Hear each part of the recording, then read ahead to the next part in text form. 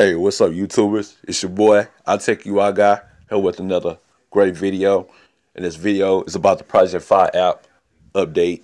This update brings um, enhancements, improvements, um, data usage updates, and not only that, you see that right there on the screen?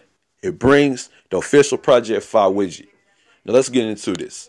Now, what you can do with the widget um, basically, it gives you the data you have used how many days left you have on your cycle, your billing cycle. And also, you can stretch out the widget. You can make it larger than life. You can make it as big as you want to, or you can make it as small as a regular, normal size application. And you can drag it around. Excuse me, my fault for doing that. Let me resize it real quick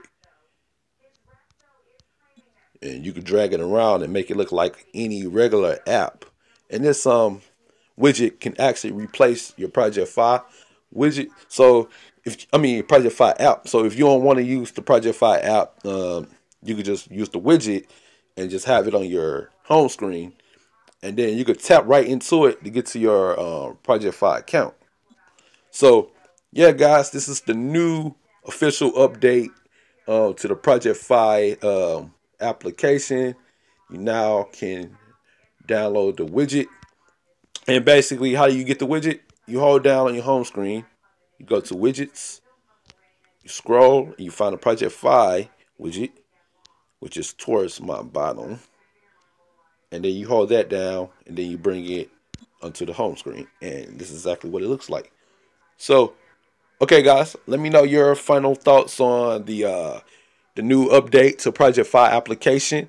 Uh, for anyone with Lollipop and up, uh, I think 5.1, you can download the uh, app. So go ahead, give it a try, guys. Test it out. Let me know your thoughts. This is the official Project Fi widget. I uh, hope you enjoyed this video. Hope I was informative. Uh, leave comments if you have any. Share the video. Subscribe to the channel. Thanks.